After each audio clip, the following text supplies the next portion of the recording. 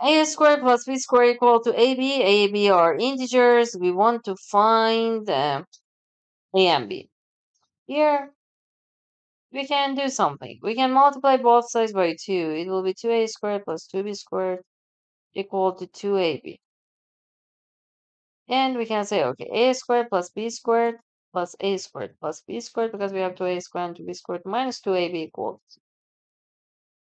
Now by famous identity, the identity is what? Let me show you. The identity is this x minus y squared equal to x squared minus 2xy plus y squared. If we use this identity, we can say this part is a minus b squared.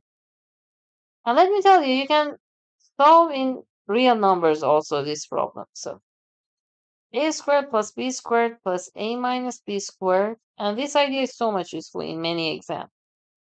Equal to zero. So because all of them are at least zero, we don't have any negative numbers. So all of them should be equal to zero.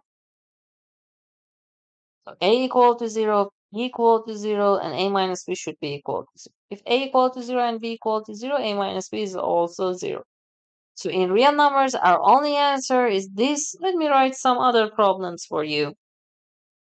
Try to solve, suppose a and b are integers. Let me write some homeworks. Homework one, a and b in all of them are integers I've written here. a squared plus b squared equal to 2ab. a squared plus b squared equal to ab over 2 a squared plus b squared equal to 3ab. It is part A, it is part B, it is part C. And part D is a squared plus b squared equal to 4a. Okay, so solve these four homeworks and let's erase because we've divided four parts. And comment your answers right below this video. If you had questions, send a message to my WhatsApp number and please don't forget to subscribe. Turn on the bell and like the video. Thanks.